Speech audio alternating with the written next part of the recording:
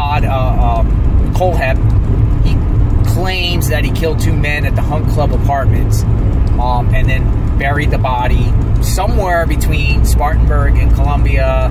Uh, authorities were focused on this particular road and this location. This is 20 miles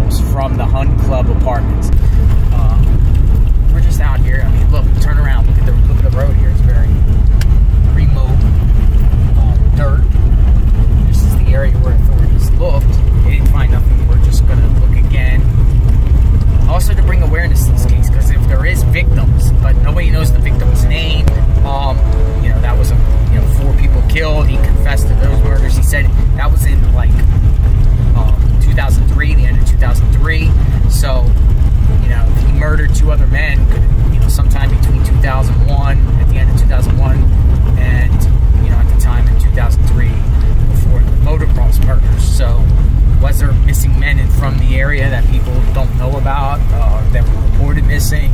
Uh, he looked at, at, the databases. I didn't see anybody. I didn't see anyone that was reported missing. And said he killed and buried him somewhere between Spartanburg and um, Columbia, South Carolina, along I-26, along a dead end road.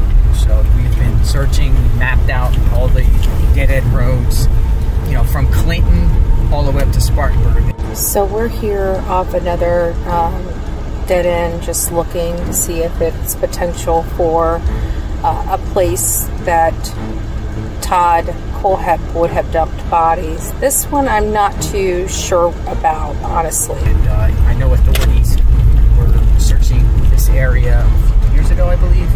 Um, you know, looking for any signs of any you know, two dead bodies. You know, whether they're buried or whether they're just out there. Um, they didn't find anything. So we are in a place uh, called Enoree off of exit 41 off of I-26. Um, as you can see, I-26 is directly behind me here. And then over on this side, you've got a lot of, um, you know, thick brush and some open areas where you could dispose of somebody. You went, we went down the end of the road. It's a dead end. There's a big sign that says dead end. Lot of woods. Um, it is a dumping site. I saw a lot of trash down there, right off of I-26. Um, did he kill anyone down here? Did Todd, serial killer Todd uh, Kohlhepp, kill anyone down here and buried them uh, on this road? That's the mystery.